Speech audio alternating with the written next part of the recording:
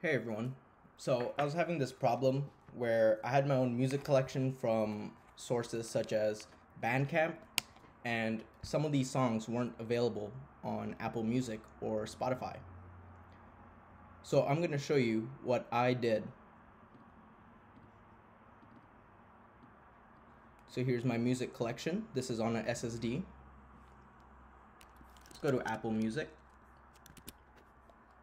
So something like this, St. Pepsi Hit Vibes is not on Apple Music. So I would use WALTR PRO.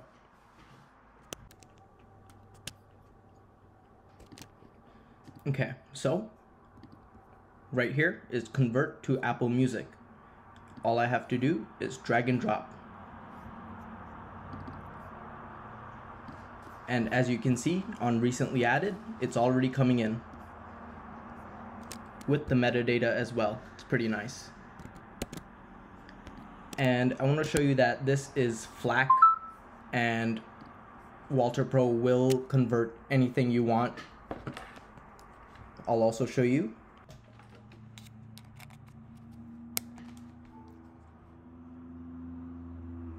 Right now, I connected my iPhone and I want the exact same thing on my iPhone but this time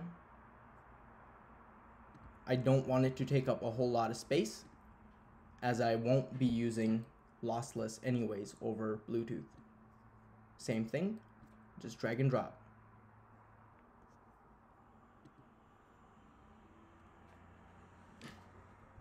There was one file that requires their additional software on your receiving end, but everything else will be on WALTR PRO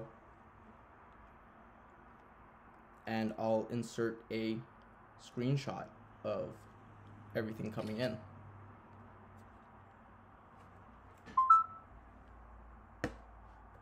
You can also do this for your iPad as well or any other Apple device.